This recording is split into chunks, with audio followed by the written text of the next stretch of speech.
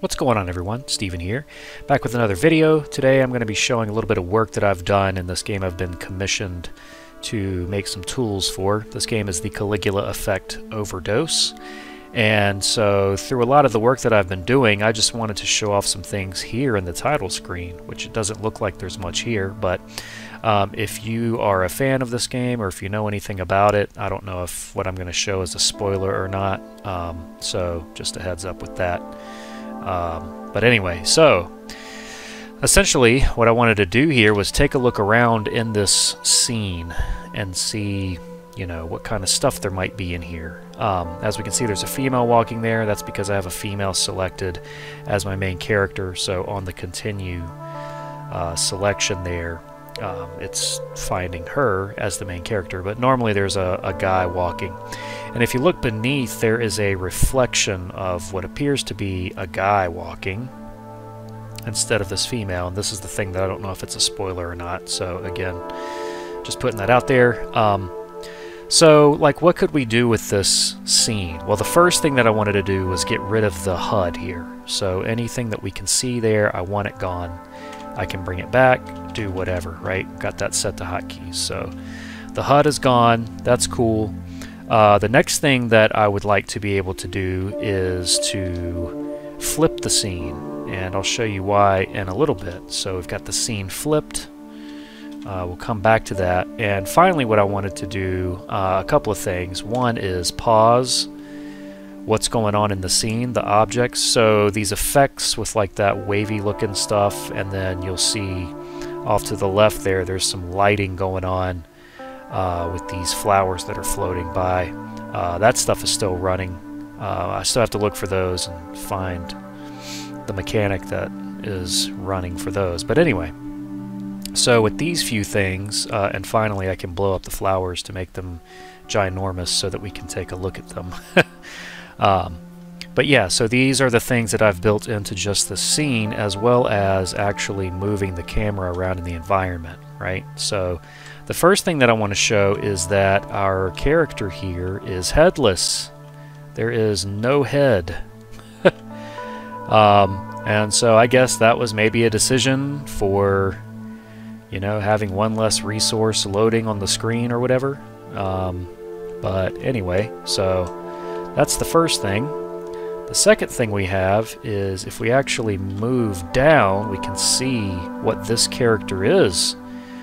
This is a fully dressed character, right? And instead of looking at him upside down, that's the reason I wanted to make it to where I could flip the scene. Um, so now we have the scene flipped, and now I'm going to move up through the water upside down, and we can look at his character model. We see some fantastic clipping there, but you know, that's pretty commonplace. Uh, and if we look closely, his body looks hollow. So you see that flower where his chest is, it looks like it's inside of a hollow body, which we can see here that it actually is. So, you know, that's pretty cool. And then we can get inside the head here and see the texture for the face there wrapping around.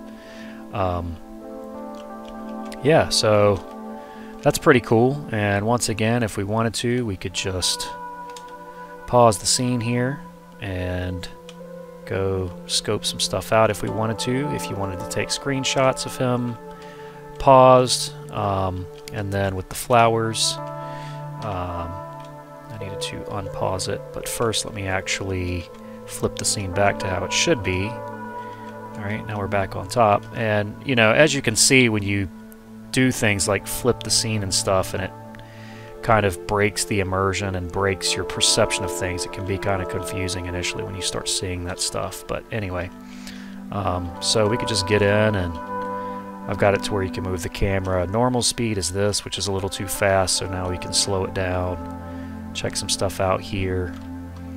Um, and then if we wanted to speed it up, we could do that.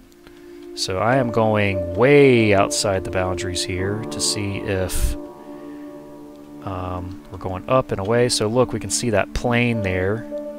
That looks like everything is operating on.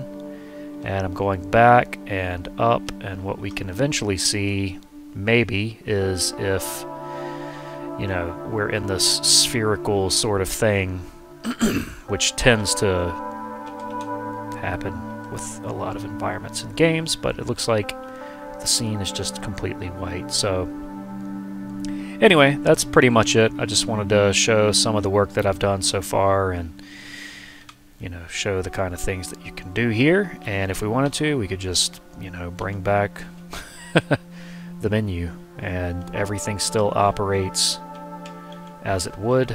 Um, and because I have everything paused, it's the same with moving around stuff on the screen. So there we go. Now that I've unpaused it, all those things, the menu items work as well. So anyway, um, if you are interested in this game and you want to see some more stuff, let me know. I'll be happy to make more videos once what I'm doing is finished, the commissioned work. I'll be shedding some details on that too, a little project coming up that I'm involved with that I think some of you will really enjoy. So anyway, thanks for watching. Give me a thumbs up if you enjoyed it. Don't forget to subscribe, and I'll see you in the next one. Take care.